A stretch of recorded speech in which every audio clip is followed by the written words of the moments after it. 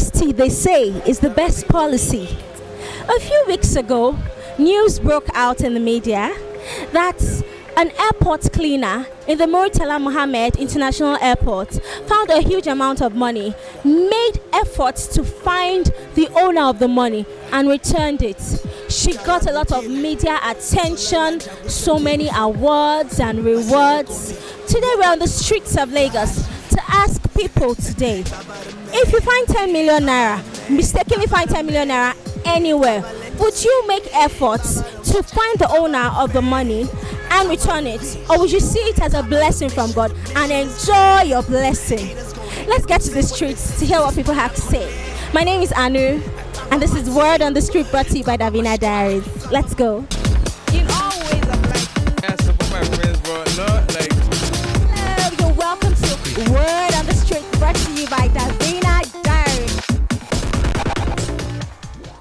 Except if I know the owner, but if I doesn't know the owner, I will take it, my dear. Uh, why?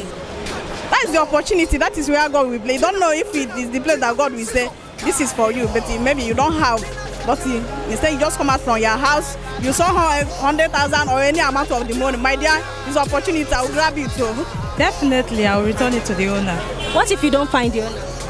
I'll take it to any of the government officials. But police will eat it now. And let them eat it. It will be on their head because it's not my money. And blessings comes from God.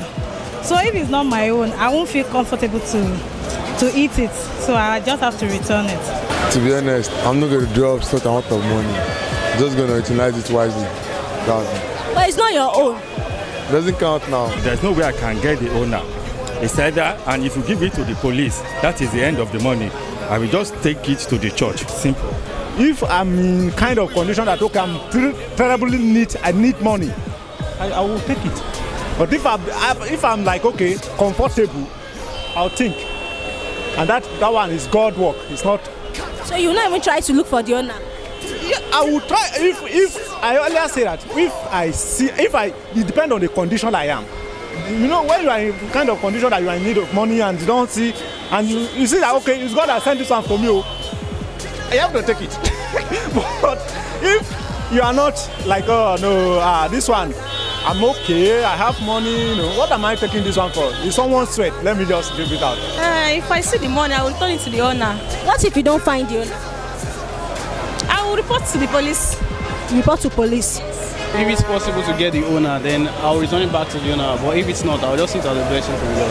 Then you do what? I'll spend it, of course. Is it your money? We, you know, we pray to God. eh, God cannot come down from heaven to help. So maybe that's one of the ways. So I'll just see it as a blessing for me, then spend the money. Thank you. We've had the different opinions of different people, but the fact still remains that honesty is the best policy. If you find something that doesn't belong to you, return it to the owner.